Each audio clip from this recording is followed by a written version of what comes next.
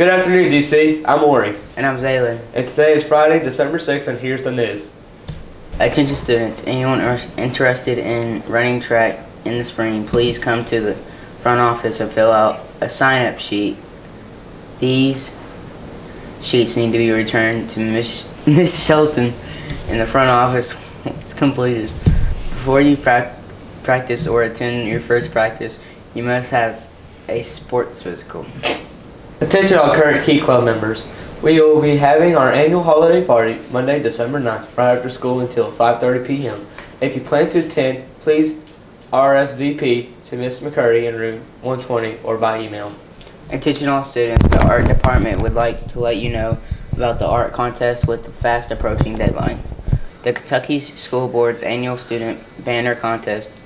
The poster will must illustrate the theme Education and Focus Vision 2020. Designs need to be submitted to Mr. Norris no later than Friday, December 13th. The best three designs will be sent to the Board of Education who will pick the, a winner for the district. The winner will receive a canvas banner on which to recre recreate the winning design for the state conference. Please see or email an art teacher for details or if you have any more questions. DC is getting to the holiday spirit with dress days that teachers and students can participate in. Everyone must be in dress code. Here are all the dress days for the rest of the week. Friday, December 6th, reindeer games. Dress like a reindeer, wear camo. Attention juniors, Free Washington Youth Tour is a six-day all-expense-paid trip to Washington, D.C. Kenergy sends three students from its service territory each summer.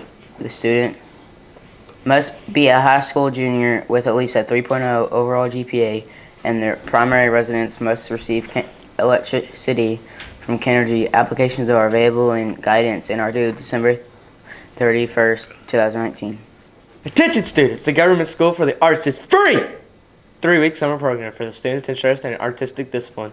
Architecture, design, creative writing, dance, drama, instrumental music, music theater, new media, visual arts, Vocal music. During the program, students will grow in their artistic talents while also experiencing hands-on workshops, lectures, and field trips. There is potential for scholarship opportunities available upon completion of the program. Applications are available online and are due January the 10th.